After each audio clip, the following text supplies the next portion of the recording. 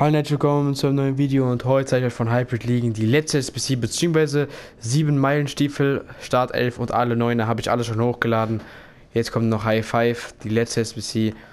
Ja, und dann war es nicht mehr mit Hybrid Ligen. Hybridation, falls ihr die Lösung davon wollt oder bzw. haben, ja, falls ihr die haben wollt, könnt ihr auch gerne auf meinen Kanal schauen, habe ich auch schon alles hochgeladen. Und ja, bei der SBC kurz dazu gesagt, könnt ihr wieder 1 zu 1 jeden Spieler, den ich hier gekauft habe, nachbauen.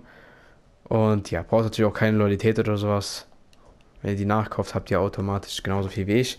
Ich habe zwar einen Spieler auf Erstbesitzer, aber das spielt keine Rolle. Könnt ihr ja daran sehen, dass wir 91 Chemie haben. Wir brauchen aber gerade mal 80. Beim Kenny, also bei dem Spieler hier Kenny, da ist manchmal das Problem, dass er ziemlich, also etwas teurer ist, aber dagegen kann man nicht wirklich was machen. Deswegen, ja, einfach ihn kaufen, so. Sollte mit eigentlich der Einzige sein, der etwas teurer ab und zu mal ist.